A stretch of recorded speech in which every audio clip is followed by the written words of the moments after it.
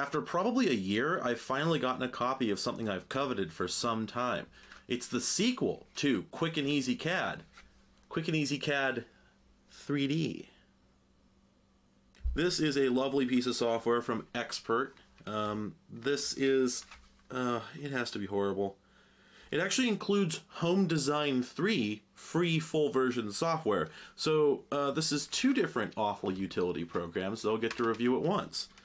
I found this at the Goodwill the other day on a really bad Goodwill trip where I hadn't gotten anything of value. But then at the last moment, here was this.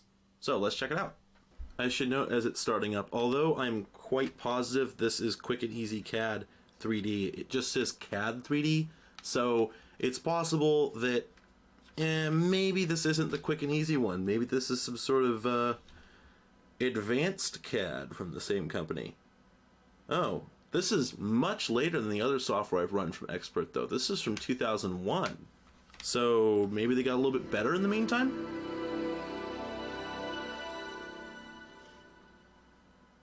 That took me by surprise, but then that's the loudest sound in human existence. You can see there's been some changes since the last time I had a video up. Uh, I've replaced this machine with a Windows 98 system. I don't think I had it in the last video I put up. Um, I've remade my workbench and so on. And I also installed a Bionicles game, which is why I have this terrible desktop wallpaper.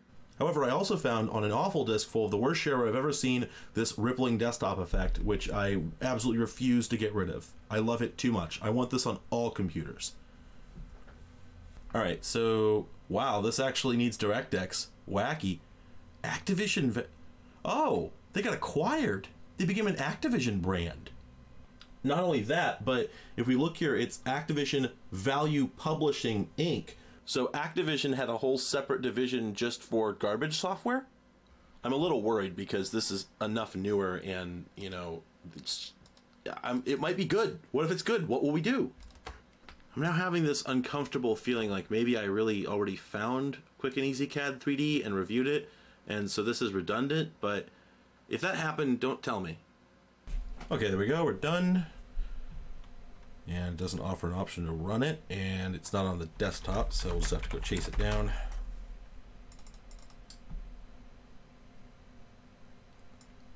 uh uh hmm well there's nothing here what did it install I wonder if it just put everything in program files anyway it absolutely did everybody don't worry Expert software has not gotten any better. There's nothing to fear. Okay, well, let's start it and see if it just destroys my computer. Alright. Alright. Well, boy, we're off to a great start. Why the hell did that happen? What what did it get wrong here? I don't get it. Alright, well, whatever. Okay, here's the program. Let's just see if we can navigate it. So we got 2D views. Yep. Okay. We have a camera angle tool, which means there must be another option for going back to 3D mode. There we go. 3D perspective. There we go. Now that's, hmm, that's interesting. Uh, I've never seen the grids presented as three separate planes. I'm not sure what you would do with that. Uh, anyway, so it looks like we have options for navigation in real time here. Whoa, whoa, whoa. Okay, um, just just a note. I'm upset at the mouse cursor, which if you notice, looks away from the direction that you're moving and blinks in between when you change direction. That's that's really unsettling, but okay. All right, we also have a walking mode. Now you'd think the walking mode would be continuous, but no, you've got to. Eh, eh, eh, okay, all right, all right, all right, and then here's the flying mode. Oh, okay. So by flying they mean just kind of working like everything else does. Though for what it's worth, I can't find a way to pan. Um, maybe. There we go. Okay, so. Oh. Oh, now now, so let me tell you what's going on here. I've never seen anything like this before. This is a very strange choice. So, when you use the helichopper to fly around, okay, it's doing a 3D projection. That's fine. But when you use the hand tool, notice that when I start scrolling, it becomes distorted. Okay, and then eventually it just goes away entirely. So when a program renders an image in 3D, what it's doing is it takes all the points in the scene, all the polygons in this case, and it renders them into a two-dimensional image using a particular kind of perspective transform. That's math that distorts the image in such a way that it appears 3D despite being on a two-dimensional object. When you rotate the screen or when you move the camera, it has to recalculate all of those points and figure out what their new perspective transform should be. In other words, every single time that you move the camera in any way, it has to redraw everything, and it takes just as much effort as it did the first time. Now, you can see that when we drag the helicopter around, it can do that. It can keep up just fine. But for some reason, what they've done is they've chosen to render that projection larger than the available display. And then when you use the hand tool, you're panning around a single pre-rendered image. And I can't figure out why they would have done this. And the other stranger thing is that that might not be what they're doing at all. You see, when I drag this, you notice how the grids and the markers down here disappear? So that suggests that they are redrawing everything. So they're spending all the effort to make a new 3D image, but for some reason they're panning the viewport within the rendered image. I can't fathom any reason anyone would have wanted that. All right, let's see what zooming is like. Now, see, zooming is performing a correct perspective transform. So if it wasn't, then, you know, we'd see this horribly distorted fisheye looking view, but we don't. This is doing what it's supposed to do. So that makes sense. And then, and those are the only manipulation tools we have. So I don't really know what that's about. If we rotate over here and drag up that way, can we pivot or Oh, whoa. Uh, oh no, why would you do that? It's pivoting off axis because I moved it. Uh, uh, uh. Okay, that's that's a very poor choice.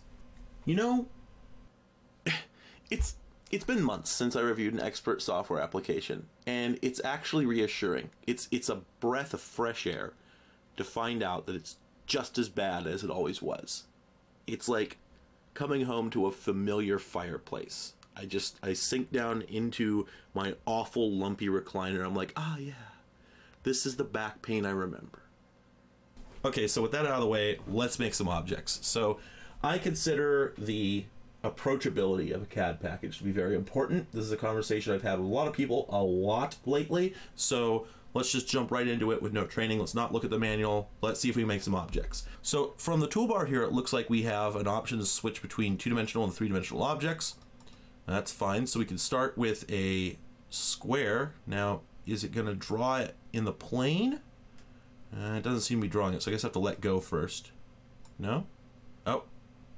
Oh. Okay. Um, so it seems that it can't go any further left. What? Why is it limiting me there? Well, okay, I'll draw the object. Let's make a new one. What? Oh, okay, I think I see what's going on. It's it's kind of hard to see from the perspective, but here's what I think has happened. For some reason, uh, when I select a point to draw from, it chose the invisible plane demarcated by this x-axis here and said no you can't go any you can't go any, any past that. For this one it chose this axis as the delimiter. Again I don't know why. So I'll have to check and see if there's a setting for that. Maybe I can turn that off. Ah there's a option to choose which grid you'll work in. So that's interesting. If we switch to the base grid okay it's made this active. Okay now if I click and draw here oh okay Alright, I made an object. I can resize it. I noticed there was an extrude feature here. Let's see what that's like. Okay. Alright, we have a box. Now let's see, can we render it in... There we go. Excellent. Um, now I notice there's a skew feature. Will that work on this, I wonder? Oh, it will. I wonder if I could choose which axis it operates in. That operates in that axis. Okay. It seems to get a little freaked out sometimes. I'm not sure why it's doing that. I think that's when I cross the, uh, I think it's when I cross this axis over here it gets confused. Here's another question. Can I extrude one face? No, that doesn't seem to work. Okay. There's other CAD packages where you can actually extrude something that's a 3D object. You can extrude a face out of it. Um, and that is handy, but it looks like I can't do that here. Also, it appears that this is operating on a system where the axes act as hard stops for moving things. See it just clunks right into the wall there. So that's interesting. These planes are actually hard physical walls. Uh, I've never seen anything like that before, but okay. I assume the same thing happens here. Yep, can't move it any further than the, the ground plane. That's, uh, it's an interesting decision. Oh, and you know what? Oh, it's happened. Yep, there we go. See, this has the same problem that um, uh, Quick and Easy CAD had, uh, which is that if you uh, hit Control Z, it actually just performs sort of a random operation that has nothing to do with uh, where the thing ever was. So again, that's a nice familiar old bug. Uh, all right, so we've got this. Um, so if I've got my house, then I want to put a cap on it. So let's see.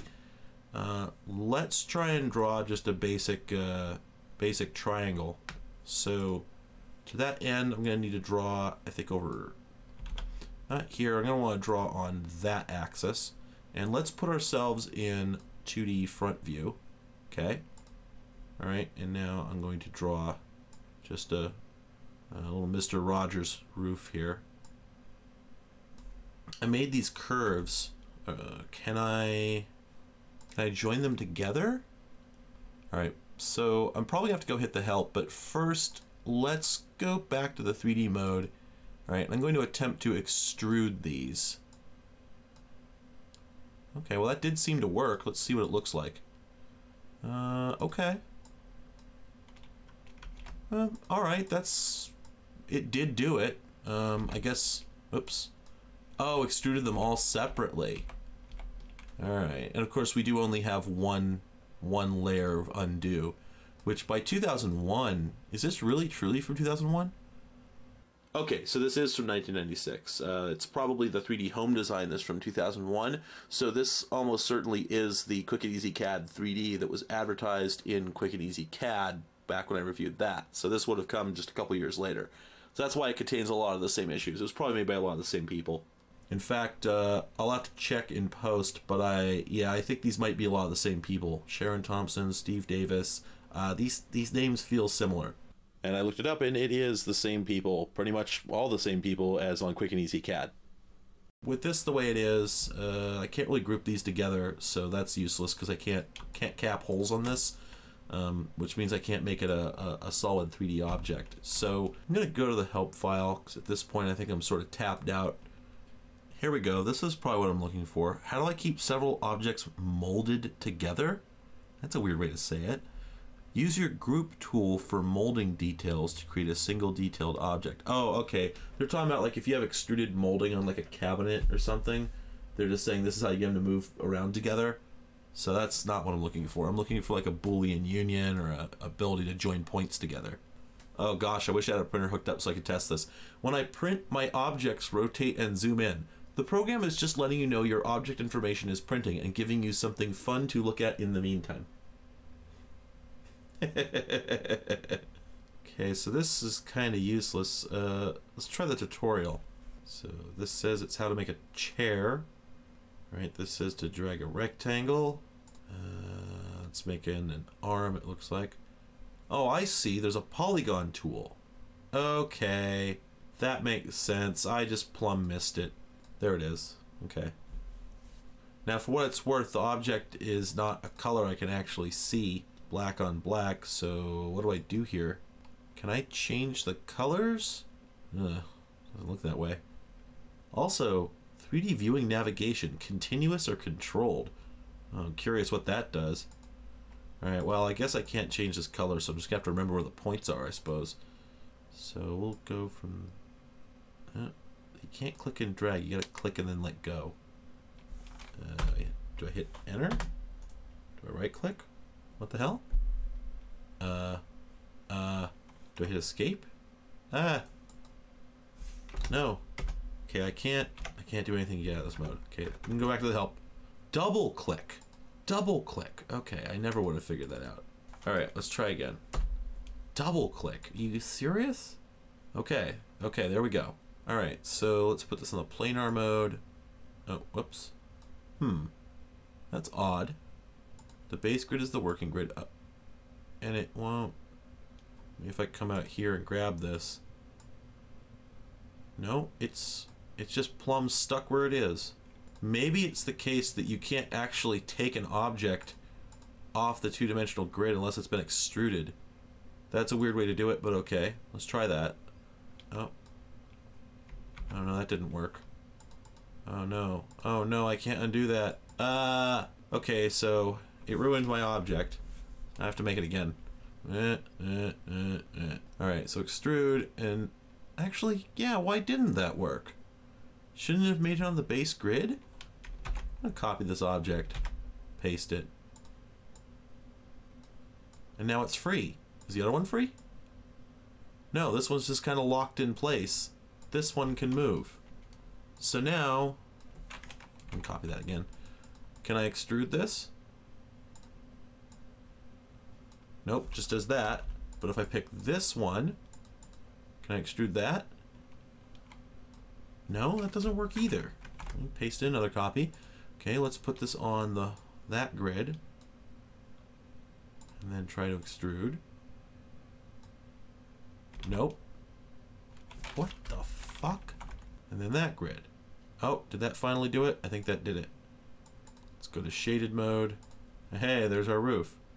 Uh, it's not a good one, but there it is. Let's just kind of press on here. It's my impression that there's no Boolean operations in this. I don't think there's any Booleans at all.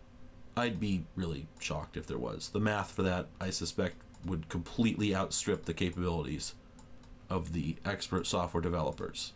Uh, so, wow. Uh, oh my god, once again, it has ended up on the wrong side of the grid. Can I, you know, uh, how?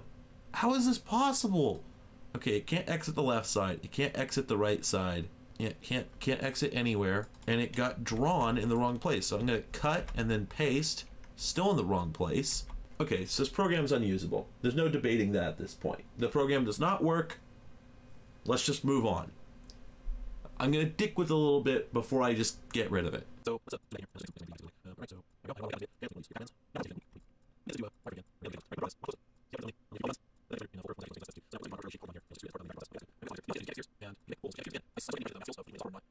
The other thing is the multigon is well, it's ostensibly multigon, but six sides automatically. So maybe we can change that in the settings.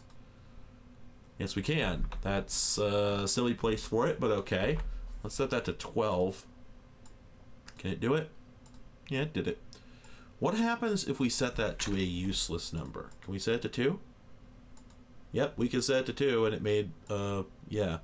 What happens if we set it to 1? Will it let us? Yep, it'll draw a impossible polygon. Cool. We have a bunch of prefabs here. So let's see what those are about. So we've got a fluorescent fixture up there. Here is an elbow brace. So this seems to be construction supplies. Which of course I keep spawning on the wrong side of the plane so I can't really get close enough to them. Living room chairs. Hey. Yep, there's there's a chair. Now, I don't think it didn't load any of the textures. Yeah, it didn't load any of the textures as it as it was complaining, which is funny because here's the textures right here. So what I'm gonna do is I'm gonna save this. I'm gonna go up and I'm gonna just take the whole program. I'm gonna put it in apps where it belongs. Okay, let's run it again. Find the textures this time? No. Okay, so in the executable strings, there's a reference to a cad3d.ini file, but that's not physically in the folder. So you know where I bet it is? I bet it's in the Windows directory. Yep, there it is. And there it is. It tried to point the textures to the root of the C drive. Yeah, yeah, baby. All right, with that fixed, let's start the program again. Textures cannot be found. Yeah, baby. Oh, it didn't save. That's a little secret for you. Do you know that the save operation was not Control S in Notepad until like Windows NT? I keep forgetting this. I keep forgetting this. Once again. All right, no error. Yep, there we are. Our chair has its textures. Let's uh, orbit around. God, none of these modes make any sense. I'm in the walking mode, but I can't I can't change my perspective. I can't I can't rotate, right? So like, yeah, I can walk around okay, but how am I supposed to actually change the direction I'm looking? And what good is it if you can't? Okay, let's do this. Let's open one of their samples. See, it came with samples, and I want to see what I'm supposed to be impressed by here. Okay, that's a roll top desk. Oh, lordy. Okay, let's bring it up. Again, I tried to do the walkthrough because there's a great perspective for it, and uh, it just slammed me down on the ground. So now I can't actually do what I want to do. Alright, so we'll do this mode. How do these work? Is this, uh... Am I even moving? Here, let's, uh, ungroup. When I move stuff, like, nothing happens. Is it, like, trying and running out of memory or something? What the fuck? I mean, let's be clear, that's completely possible. Can I just straight up... I can't even delete it. What's going on? What the fuck? Select everything. Delete everything. Yeah, it cannot delete these objects. I don't know why. Okay, alright, well. Let's uh, check out the other samples. Here is a sculptor. Yeah, it really is. It's sculptor, not sculpture. And... Uh... Okay. Yeah, it's, uh... It's beautiful. I hope you do more of them, Robbie. It would be nice, you know, if I could see it but because I can't I can't slide side to side. Let's check out the final example.